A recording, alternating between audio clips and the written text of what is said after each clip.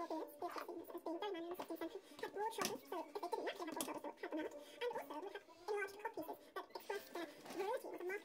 fertile and productive and, and manly. Each change of clothing is going to take the king 20 to 30 minutes at least, depending on what he's doing where he is. So servants would constantly on hand to, to make sure he was looking as good as possible. The Tudors realised how important propaganda was, and creating this image, this fantastic look that we see in all the portraits, did take some time. Um, not only is it all the cloth and the fine embroidery, this jacket in fact has got jewels hanging off of it as well, and that all adds to the time, but eventually the, the prestige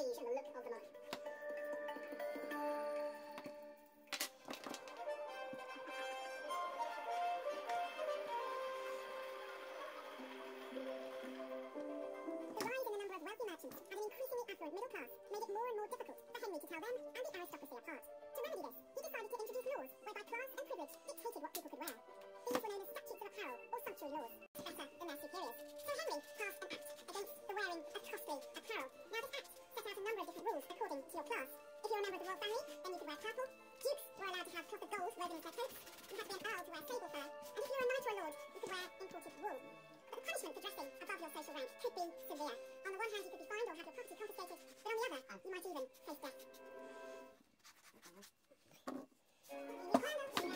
Cuando, cuando, cuando, cuando. Cuando, cuando, cuando. Dolce Gabbana, the only one. The new fragrance. I think it's gonna Cuando, cuando, cuando.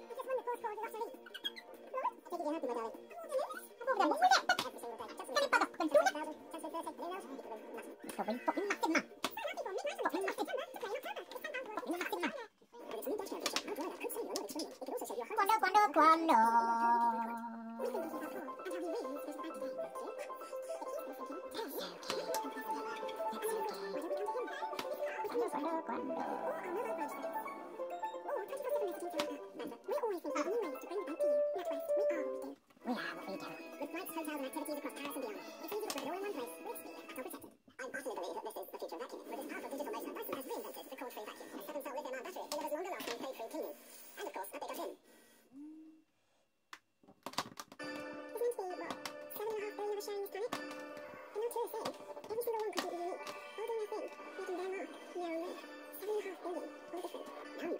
phone plan to be as individual as you are.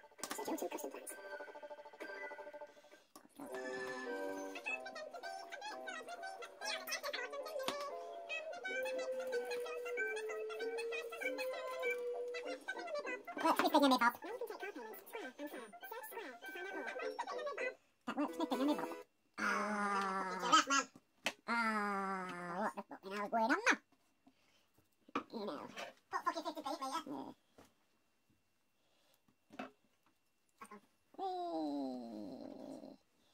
Happy days, oh, happy days.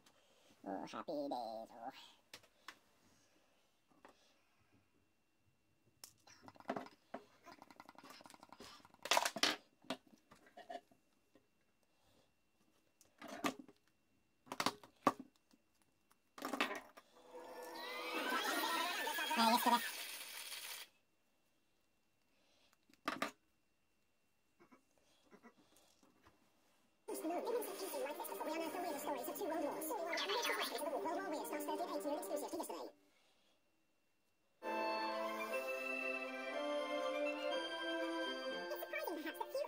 Clothing belonging to Henry survive today. Luxury cloth and imported fabric were so expensive that they were often reused and recycled over the years to keep up with changing fashions. But here at Hampton Court Palace, I've come to meet collections curator Larry Lynn, who's agreed to show me a very rare and special item that's held in their stores. So these stores contain 10,000 items, 10,000 items. I had no idea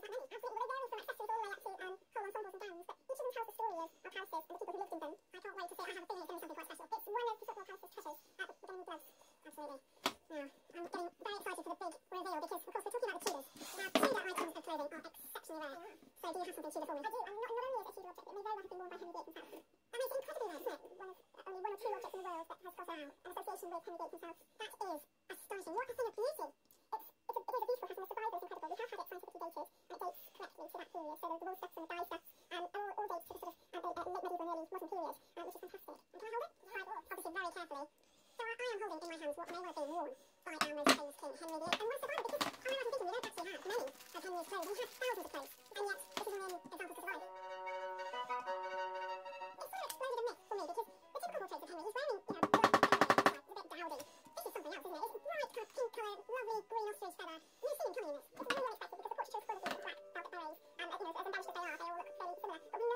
was that they were wearing many more colours than just the black outfit they were wearing scarlet and green and they were highly embellished with gold and jewels and feathers of all different colours. So this is a typical sort of survival of that period. It was, it was you grey here, which really and sparkled. But also the which through, which were probably for attaching gems and jewels and and things and that sort would even more um, colourful and extravagant. What a treasure, and actually, what a privilege to been getting my hands on Camille from today.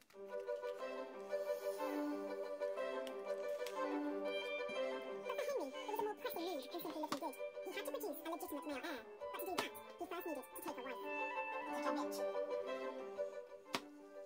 It was decided to marry his brother's widow, Catherine of Aragon. Henry was very fond of Catherine, and he wrote to his future father-in-law, assuring him that he thought so highly of her, that even if he was still free, he would choose her above all others. So many levels, intellectually, culturally, they were both raised to be king and queen, and they were very affectionate towards each other, and they lived in this world of a chivalry in which Henry was so loyal heart and would joust and carrying her her favours in the lists. Early marriage seems to have been a great success. She was crowned alongside him. They obviously slept regularly together because she became pregnant. He treated her with great respect. He treated her in chivalric terms as the lady who inspired him at tournaments and, and in court spectacles. So there is no evidence at all that they had a strained relationship. Over the next 10 to 15 years, their marriage seemed to be a happy one. But a tragic series of miscarriages and stillbirths without a male heir. Oh, enough. He's used to having what he wants. And the fact that everybody gives him what he wants, and he can't have this thing, he therefore looks around like a child does, an angry child, to blame somebody. Because it can't be anything to do with him, couldn't possibly be anything to do with him. He is um, constantly told and believes that he is the perfect king. So I think not having a son is a disappointment. If anyone was as responsible, it would have been the mother. But then all sorts of things were thought to affect things like miscarriages or birth defects.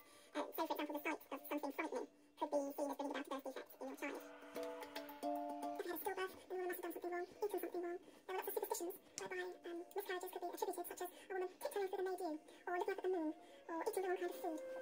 When it came to the royal family, when a child was stillborn, we know in the case of Henry VIII that, that he blamed God. God was responsible, and the reason why he was responsible was because Henry and Catherine had carried out this terrible sin of going against scriptures in marrying when Catherine had previously been married to Prince Arthur.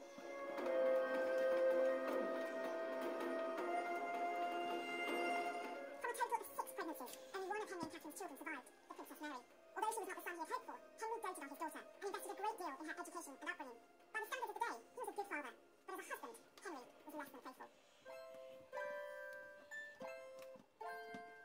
Henry did resort to alcohol, particularly when Catherine Aragon was pregnant. It was common belief at the time that men did need to have regular sex in order to purge and build up the fluids to, to keep them healthy. And so while Catherine was out of action, literally in confinement, or during her pregnancy, it was not thought a good idea for her to indulge in sex with her husband because this could damage the fetus. Therefore, it was a logical deduction for the Tudor mind that a man could seek some sort of comfort elsewhere. Because king. One affair we certainly do know about was with a woman named Elizabeth Blount.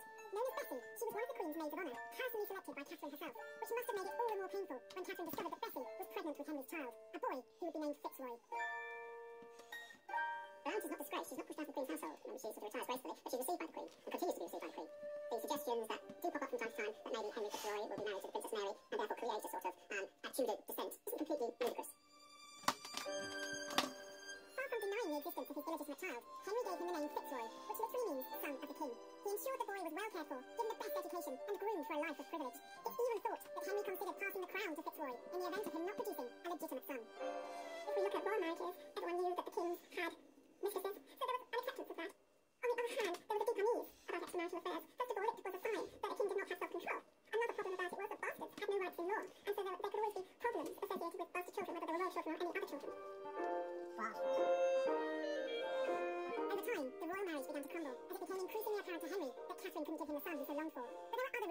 reasons that the marriage